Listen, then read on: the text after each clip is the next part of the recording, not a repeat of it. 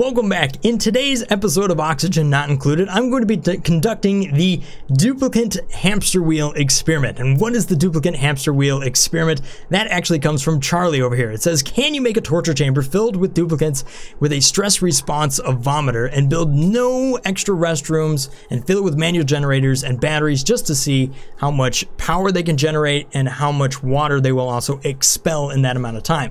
DX also says, the funny thing is that's the only way to make a truly sustainable base at the moment. I won't, don't think I'll be able to get to the full sustainability in this one episode because that would be a little bit too complex. What I'm going to be taking a look at, at is the power that is going to be generated by a duplicant over a given amount of time and then measuring to see if that is any different at all. Because what you have is with several duplicants down here is they have different power abilities and apparently that's going to then contribute to how much power they can generate.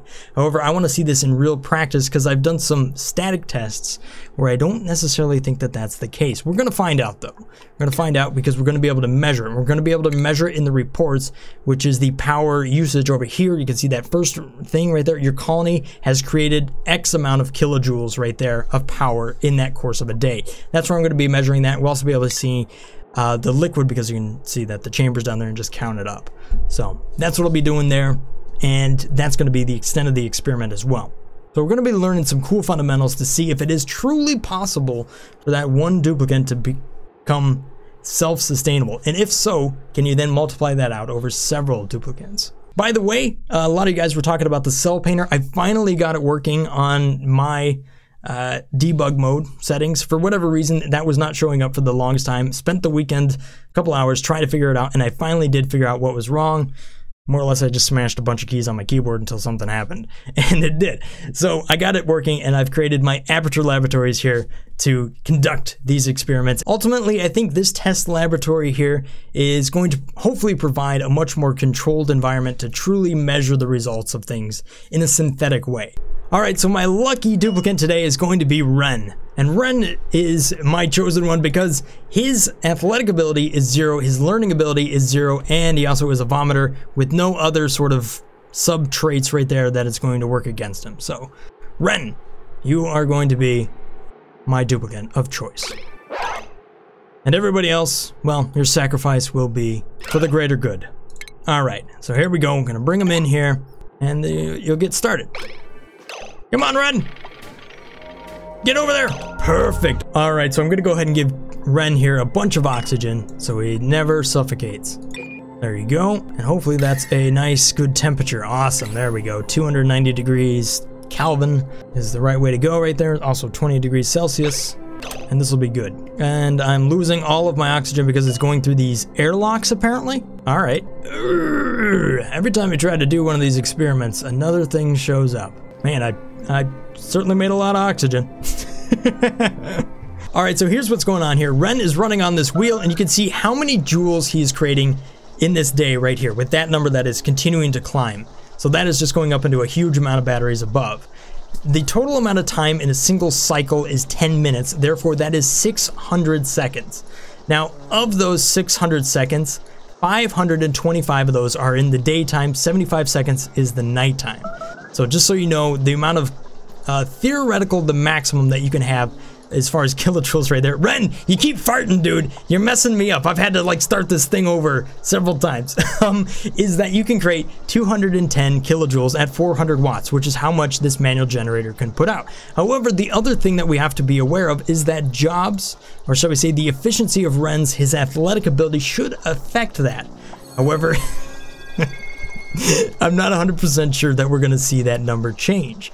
Uh, reason being is because I'm not sure the alpha currently takes that into effect as far as their athletic abilities. I know it tells you, but the only way to do this is a real life test. So that's what we're going to plan out hopefully over the next 10 cycles to see if it truly makes sense to have your best people, uh, your highest athletic people to run on the power generator right there. I had to pick the I had to pick the one that just sits here and farts all day long, didn't I? we'll have some lice loaf, man. little horn. Oh, man. Ren, you're killing me, bro. Oh, and he stops to eat right there. All right, so what was his report? Uh, the previous day, you can see that he created 206 kilojoules right there. His athletic ability went from 0 to 2 throughout that day. So let's go ahead and see how this works as he continues on over the next few days. All right, so here we go. Start of day two. You can see now Ren is bladderies. He's start starting to need to go to the bathroom here. He'd really appreciate a toilet. Oh no, he made a mess. All right, so for the first sort of weird thing, let's just see how much polluted water Ren expelled. All right, just because you really want to know this fact, uh, Ren expelled 1.7 kilograms of uh, of piss. I mean, seriously, what did you do today? Like, of all the experiments I can do, this is the one I chose. I put a I put a gassy duplicant in an enclosed box, forced him to run on a generator, and counted the quantity of his piss. Why not? Actually, this guy was, went beast mode all day long. Uh, don't mind everybody else who's dying down below. Shh, don't, don't mind that. Way to eat right at the end of the day, dude. You're making my job work out really good here. I think Lindsay is eating a corpse of Harold. That's that, that's kind of awkward. Who thought the guy in the box would actually be the humane one? I personally didn't think so. this torture chamber's looking better than everybody else's fate. Uh, so that was 205 right there. Was his second result. I think I'm gonna need some more batteries, by the way. So let's go ahead and make some more batteries real quick, just so I don't have to... I don't want to mess any of my results up. I need like enough storage for 10 days. Yeah, look at that go. Mmm. Uh-oh, getting a little laggy here. Oh my. I think I have a lot of batteries. Alright, that should be enough batteries. Don't you think? I think so. Oh my, don't lag. Oh, oh. Uh-oh. Oh, crap, now the game crashed. Uh, too, too many batteries. Just a few bit. Few, few too many. Alright, so here's where I'm at, guys. Unfortunately, this game crashed on me, honestly, three times. It was an absolute pain in the butt. Tried to make a ton more batteries. That caused it to crash. Tried to speed the game up a little bit beyond what I was able to do. And the game crashed yet again but I'm on the same sort of cycles right here. So for the last three cycles, I have seen no real increase in the amount of kilojoules that Ren has been able to produce right there. Even though his athletic ability is increasing, aha, here's exactly what I want to see. Let me take a break here because I want to be able to measure precisely how much he is vomiting right now. And hopefully he doesn't go to the bathroom. Come on, don't go to the bathroom. Perfect. All right, so I can measure this number right here. So this is the the vomit number. I think they vomit quite a bit. All right, so here's the two data points I have. Try to take this with a serious face, right?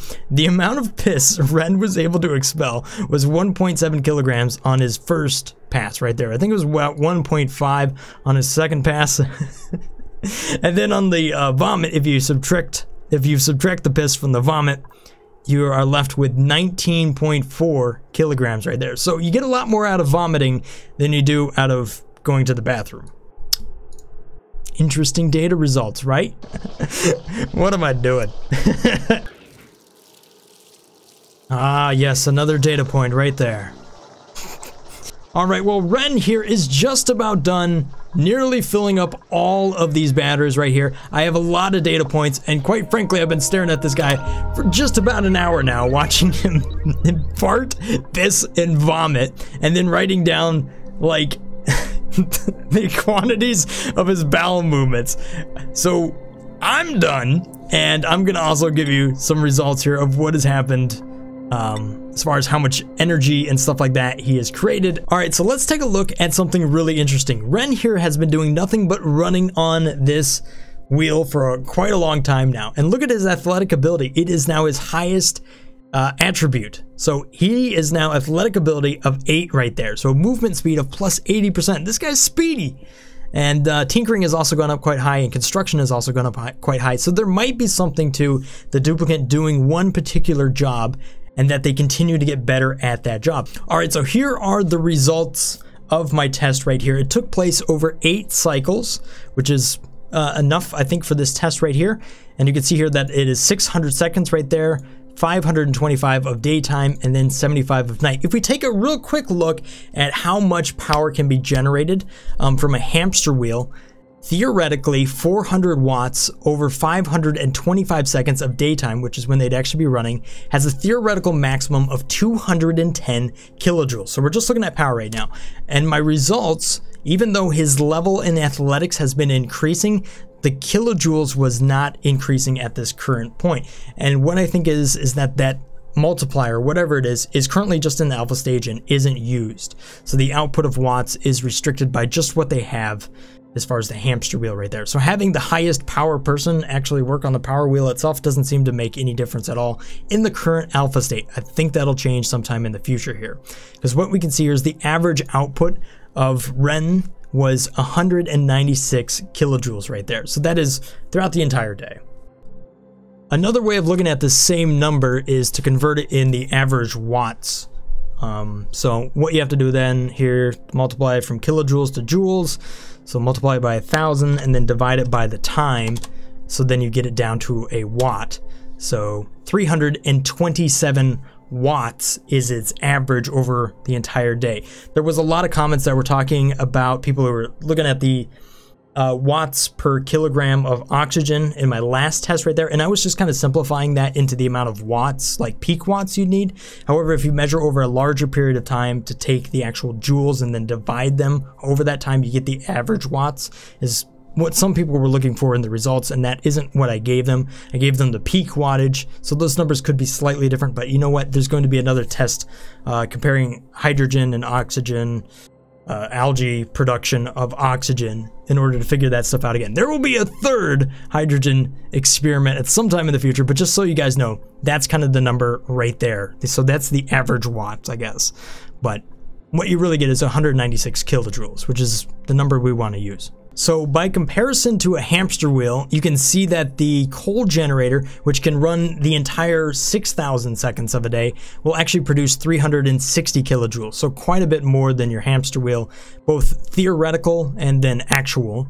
And then the hydrogen generator, again, can run 24-7 without any manual interruptions. And that will produce 480 kilojoules in a day at its maximum if it's running all day and you have a ton of hydrogen around.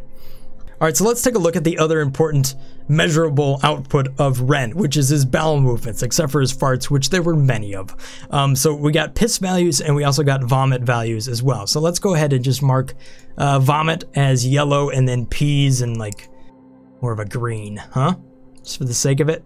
There we go, pisses and vomits. um, now, the first thing you need to know is that uh, the amount of piss that is generated isn't a static number, and the amount of vomit isn't a static number. It can be higher and it can be lower depending on the day, and depending on apparently how sick or like bladder full Ren had to have been at that moment. However, we can then average those numbers out, which is what I did right up here. All right, so on average, Ren pissed 1.6 kilograms of contaminated water. However, in a much higher volume, he vomited 17.7 kilograms. So you gotta stress them out so that they vomit in order to get a meaningful quantity of polluted water out of your duplicant.